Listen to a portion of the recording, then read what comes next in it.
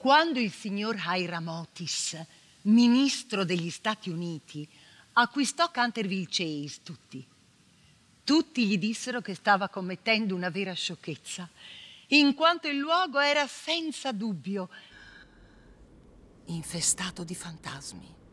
Anche Lord Canterville, che in fatto d'onore è un uomo molto scrupoloso, fu chiarissimo. Posso testimoniarlo? Stavo dando aria alla casa e l'ho sentito personalmente affermare che neanche lui soggiornava più tanto volentieri a Canterville, da quando sua zia, la duchessa vedova del duca di Bolton, vide una specie di fuoco fatuo formarsi nello specchio, poi uscirne, trasformandosi in due occhi spettrali che si fermarono proprio qui, dietro la nuca, fissandola. Ah! Ah!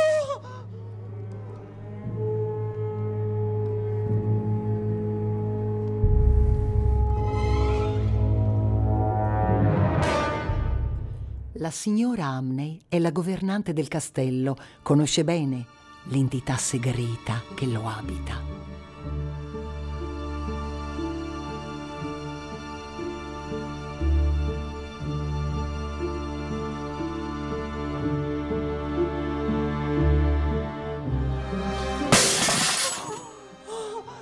Scusate, scusate. È stato accertato che il fantasma non manca mai di mostrarsi in occasione della morte di un Canterville. Praticamente si comporta come un medico di famiglia.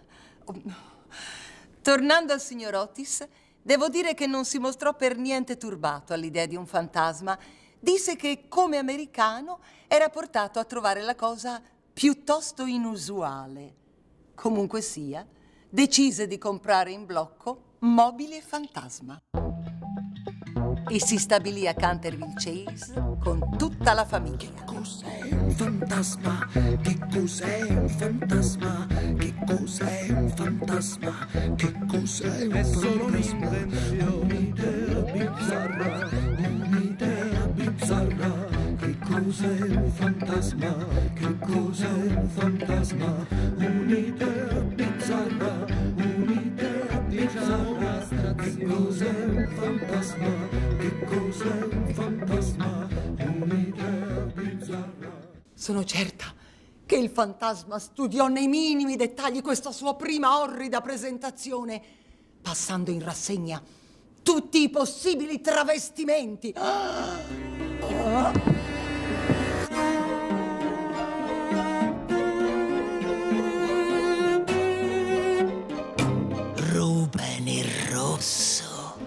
Ruben il rosso come uno sesso, faceva sesso, faceva sesso.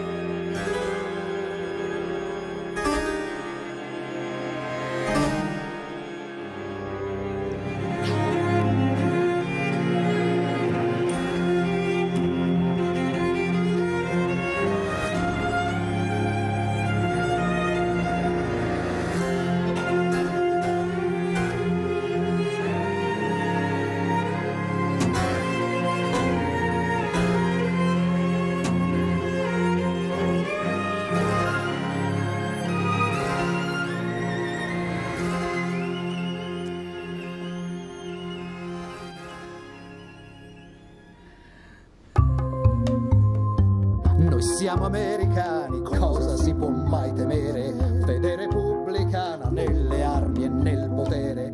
Una sera, mentre mi trovavo da sola in cucina a lucidare l'argenteria, che... Che c'è? Chi è? Signor Amney! Oh, signor Amney, non svenga per Dio, lo sto possedendo! Cosa? Non si faccia illusioni. Si tratta solo di una possessione mentale. Si rilassi. Noi siamo la libertà.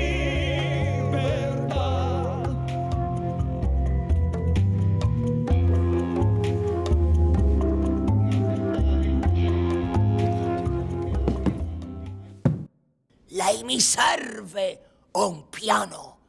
Questa notte alle una entrerò. All'attacco!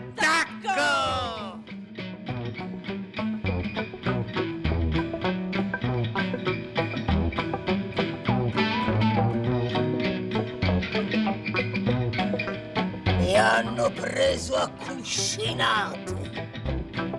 Mi hanno centrato in pieno, tutte le volte, senza mai sbagliare un colpo, eppure sono bambini. Sir Simon. Sir Simon è qui. Se desidera qualcosa, se mi vuole possedere, intendo come l'altra volta, mentalmente, io sono pronta. Lo so che la sua ultima apparizione non ha avuto il successo che meritava. Ha fatto comunque la sua impressione, eh? Sì, sì. Sono tutti molto, molto spaventati. Eh, Signor Amney, non menta. Questa orrenda famiglia americana è indistruttibile. E io non ho armi adeguate, lo ammetto.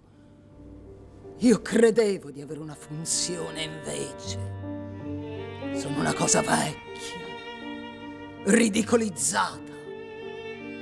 Vorrei spegnere, ma non posso. Non posso.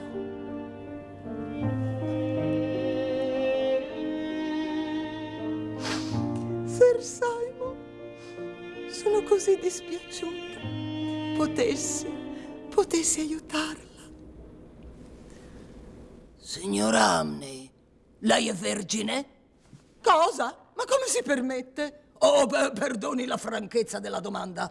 La mia non è curiosità, era solo un'idea, un'ipotesi, vede. Io desidero così tanto raggiungere la pace eterna e l'unica possibilità è quella di essere traghettato nel regno delle ombre da una vergine.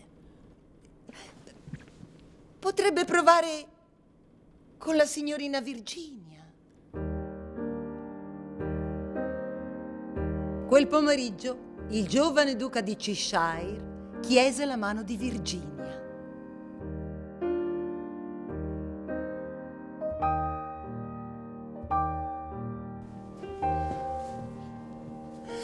Ero così felice, felice, felice!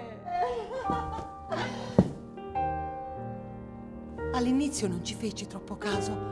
Pensai che qualcuno avesse lasciato un soprabito lì sulla poltrona, però mi sembrò di un colore strano. Nessuno in casa vestiva di un verde così muffito.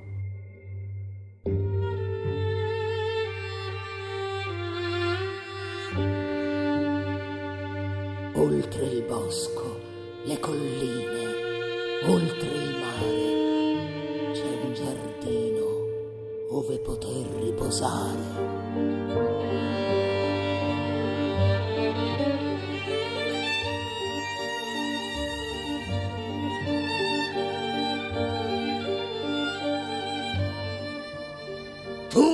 Puoi aiutare, puoi aprire per me i portali della casa della morte. Sir, veramente non ho capito molto. Comunque, vogliamo andare? Virginia ha traghettato il fantasma nel regno dei morti. E il duca di Cheshire, voglio dire Cecil, si è rivelato un marito molto affettuoso, carino, gentile, tollerante, fedele. Mm, Non ha difetti evidenti. Un marito ideale. Non è neppure troppo curioso. Soltanto una volta ha accennato al fatto, sì, voglio dire alla mia sparizione. Virginia, tesoro, non hai mai detto cos'è successo con il fantasma. Una moglie non deve avere segreti con il marito. Oh, ma Cecil, caro, io non... Ma i fantasmi, come i sogni, abitano nel fondo della nostra anima. Ti prego, Cecil, non mi andava ad insistere sull'argomento. Eravamo a letto, ho finto di dormire. Notte, Cecil.